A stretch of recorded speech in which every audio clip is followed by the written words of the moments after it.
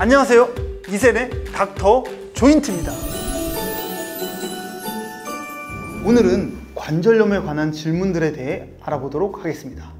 관절염에 도가니탕이나 족발이 좋은 음식일까요? 도가니와 족발은 소와 돼지의 관절 혹은 관절의 한 부분을 포함하고 있는 음식이고 사람의 관절 성분과 유사한 성분들 예를 들어 제2형 콜라겐 등이 많이 함유되어 있습니다. 이론적으로 도가니탕이나 족발 등을 섭취하여 소화기관에서 분해 흡수되어 관절 연골의 성분을 보충해 주는 것이 도움이 되는지는 의구심이 있으며 이것을 과학적으로 증명하는 것은 실질적으로 매우 어렵습니다. 관절염을 위해 특정한 음식을 찾는 것보다 중요한 것은 근육이 잘 유지되고 생길 수 있도록 필요한 영양분을 골고루 섭취하되 체중이 늘지 않도록 적절한 양을 섭취하는 것입니다.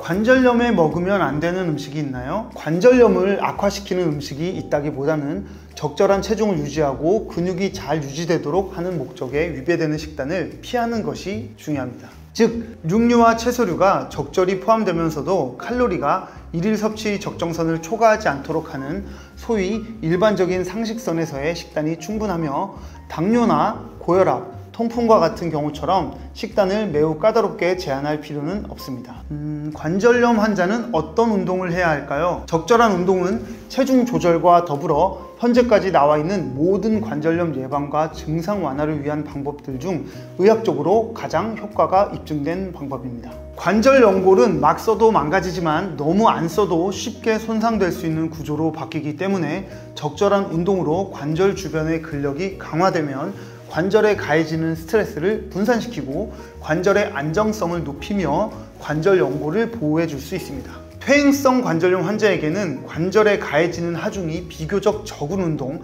즉 걷기나 수영, 아쿠아로빅, 실내 자전거 타기 등이 추천됩니다.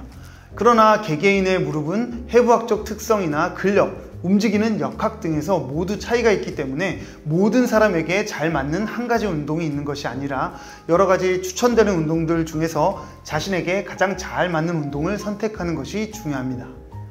자석 팔찌 자석요는 관절염에 효과가 있나요? 결론적으로 자석을 이용한 제품들이 관절염에 효과가 있는가에 대해서는 현재까지 연구 결과로는 결론을 내리기 어려운 상황입니다. 일부 연구를 통해서는 자석요나 자석이 포함된 보조기가 관절염의 통증을 감소시키는데 효과가 있다고 보고하였지만 많은 관련된 연구를 종합하여 분석한 연구에서는 큰 차이를 발견하지 못하였다고 알려져 있습니다. 여러분, 닥터 조인트와 함께 건강하고 튼튼한 관절이 센 여러분이 되시길 바라겠습니다. 오늘은 여기까지입니다. 다음 화에서 뵙겠습니다.